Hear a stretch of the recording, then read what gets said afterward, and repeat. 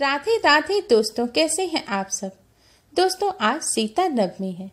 सीता नवमी को जानकी नवमी और सीता जयंती आदि नामों से भी जाना जाता है। आज के दिन माता सीता का प्राकट्य हुआ था। आज के दिन माता सीता की कथा सुनने मात्र से ही भगवान सीता राम जी की कृपा से घर में सुख समृद्धि और शांति का वास होता है। साथ ही मनचाहा वरदान भी प्राप्त होता है। दोस्तों, बैसाख मास के शुक्ल पक्ष के नौवें दिन, यानी कि नवमी तिथि को सीता जयंती मनाई जाती है। इस दिन माता सीता और भगवान श्री राम का पूजन किया जाता है। धर्म ग्रंथों के अनुसार इस दिन माता सीता का प्राकट्य हुआ था। भगवान सीता राम जी का जन्म एक ही नक्षत्र में हुआ था। ग्रंथों के अनुसार बैसाख महीने के शुक्ल पक्ष की नवमी को पुष्य नक्षत्र में महाराज जनक को पृथ्वी से संतान प्राप्त हुई थी। ग्रंथों में इस दिन का महत्व बताते हुए कहा गया है कि इस दिन माता सीता और श्री राम के पूजन के साथ ही व्रत रखना चाहिए। इससे पृथ्वी दान सहित सोलह तरह के महत्वपूर्ण दान का भी फल प्राप्त होता है। माना जाता है कि सीता जयंती पर भगवान सीता राम जी का पूजन करने से कथा सुनने मात्र से ही सुहागन महिलाओं को अखंड सौभाग्य का वरदान प्राप्त होता है। आज के दिन भगवान सीता राम जी का पूजन करने से वैवाहिक जीवन सुखमय बनता है और वैवाहिक जीवन में आ रही सभी समस्याएँ दूर हो जाती हैं। रामायण में माता सीता को जानकी कहकर भी संबोधित किया गया है। देवी सीता मिथिला के राजा जनक की पुत्री थी, इसलिए उन्हें जानकी भी कहा जाता है। माता सीता को लक्ष्मी माता का अवतार माना जाता है, जिनका विवाह अयोध्या के राजा दशरथ के पुत्र और स्वयं भगवान विष्णु के अवतार भगवान श्री राम से हुआ था।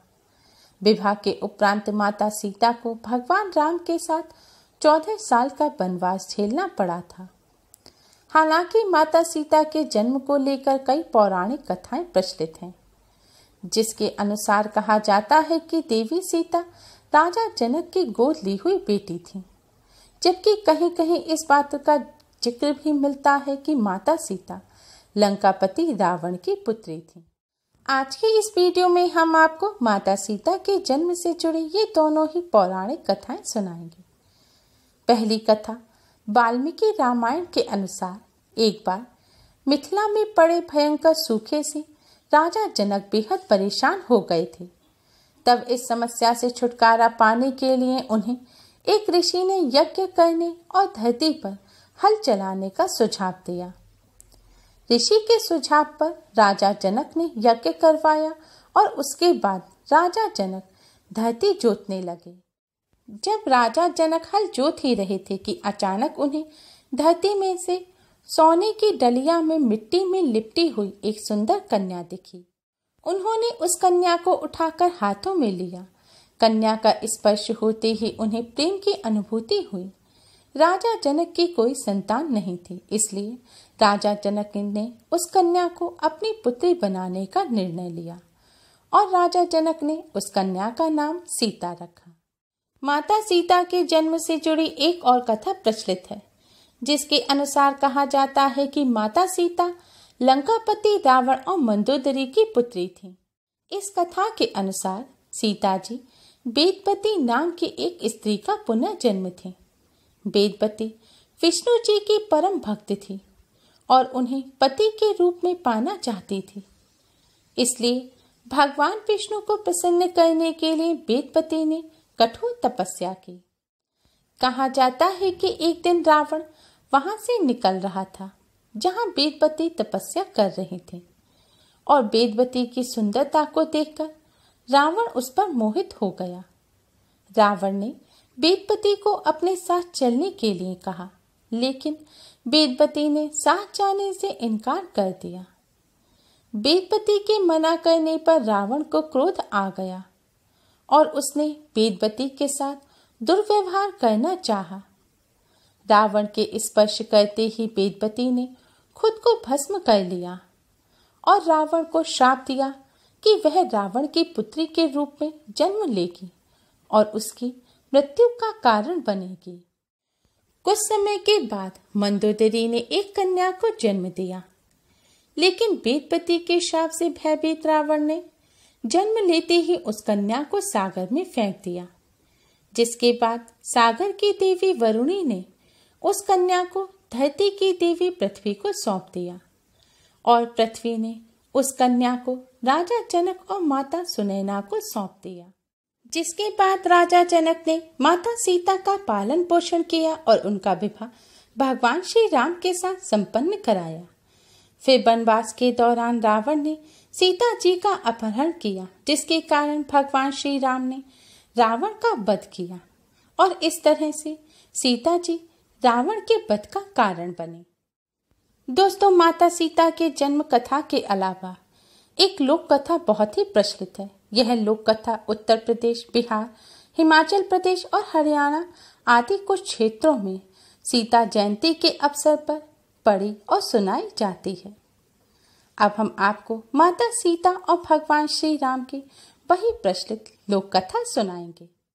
दोस्तों, यह कहानी सीता माता कहती थी और भगवान श्री राम इसे सुना करते थे।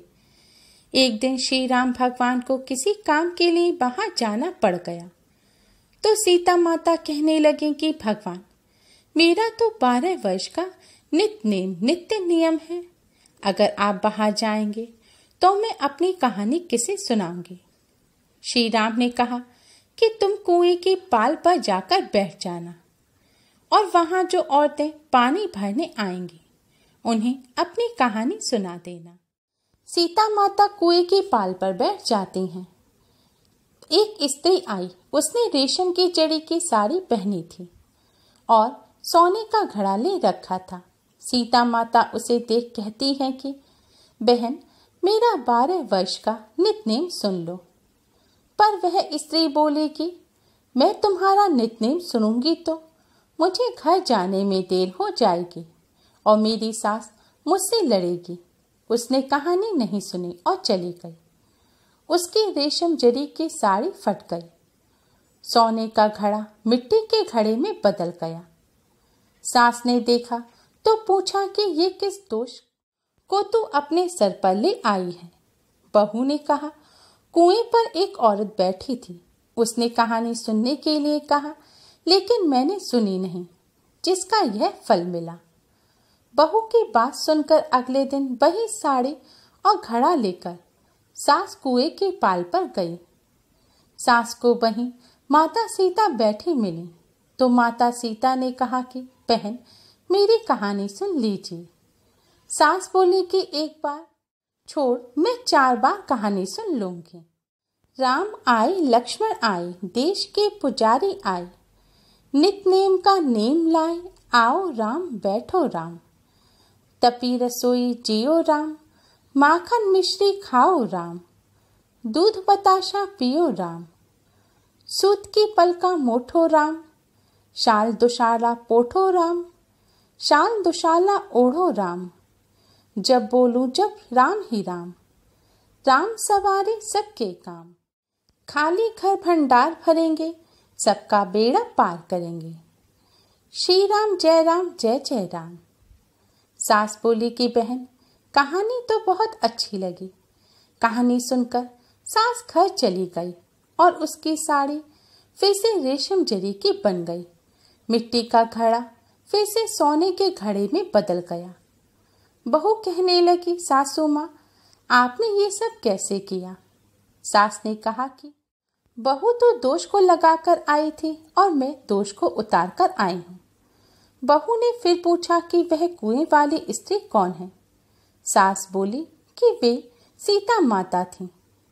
वे पुराने से नया कर देती हैं, खाली घर में भंडार भर देती हैं। वह लक्ष्मी जी का बास घर में कर देती हैं। आदमी की जो भी इच्छा हो उसे पूरा कर देती हैं। बहू बोली कि ऐसी कहानी मुझे भी सुना दो। सास बोली कि ठीक है, तुम भी सुनो और सास ने कहानी शुरू की। राम आए, लक्ष्मण आए, देश के पुजारी आए। नितनेम का नेम लाए, आओ राम, बैठो राम। तपी रसोई जियो राम, माखन मिश्री खाओ राम। दूध बताशा पियो राम। सूत के पल का मुठो राम, शाल दुशाला पोठो राम। शाल दुशाला ओढ़ो राम। जब बोलूँ, जब राम ही राम राम सवारे सबके काम। खाली घर भंडार भरेंगे, सबका बेड़ा पार करेंगे। श्री राम, जय राम, जय जय राम। कहानी सुनकर बहू बोली कि कहानी तो बहुत अच्छी है। सास ने कहा कि ठीक है, इस कहानी को रोज कहा करेंगे? अब सास बहू रोज सवेरे उठती, नहाती धोती, पूजा करने के बाद नितनेम की, सीता जी की कहानी कहती। एक दिन उनके यहाँ एक पड़ोस की औरत आई और बोली कि, बहन, जरा सी आंस देना तो।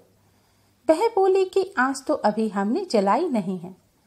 पड़ोसन ने कहा, तुम सुबह चार बजे से उठकर क्या कर रही हो? फिर उन्होंने कहा कि, सुबह उठकर हम पूजा करते हैं, फिर सीता माता की नितनेम की कहानी पढ़ते हैं। पड़ोसन ने उनकी बात सुनकर फिर कहा कि सीता माता की कहानी कहने से तुम्हें क्या मिला? वे बोले कि इनकी कहानी कहने से घर में भंडार भर जाते हैं। सारे काम सिद्ध हो जाते हैं। मन की इच्छा भी पूरी होती है। पड़ोसन कहती है कि, बहन, ऐसी कहानी तो मुझे भी सुना दो। फिर बहन बोली कि, ठीक है, तुम भी यह कहानी सुनो। उन्होंने सारी कहानी पड़ोसन से कह सुनाई। पड़ोसन कहानी सुनने के बाद कहने लगी, बहन, कहानी तो बहुत अच्छी लगी। अब वह पड़ोसन भी नितनेम सीता माता की कहानी कहने लगी। कहानी कहने से सीता माता ने पड़ोसन के भी भंडार भर दिए। अब तो पूरे मोहल्ले में नितनेम की कथा चल पड़ी। हर किसी की मनोकामना पूरी होने लगी। हे सीता माता, जैसे आपने उनके भंडार भरे, वैसे ही आप हमारे भी भंडार भरना। कहानी सुनने वाले के भी और कहानी कहने वाले के भी। दोस्तों, आज के दिन सीता माता की इस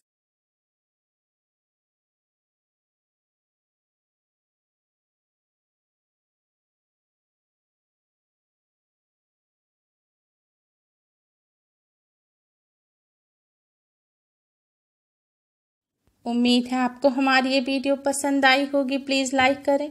हमारी इस वीडियो को अपने फ्रेंड्स और रिश्तेदारों में ज़्यादा से ज़्यादा शेयर करें, जिससे वह भी इसका लाभ उठा सकें। हमारी और भी वीडियोस के लिए हमारे चैनल को सब्सक्राइब करना ना भूलें। Thanks for watching Radhe Radhe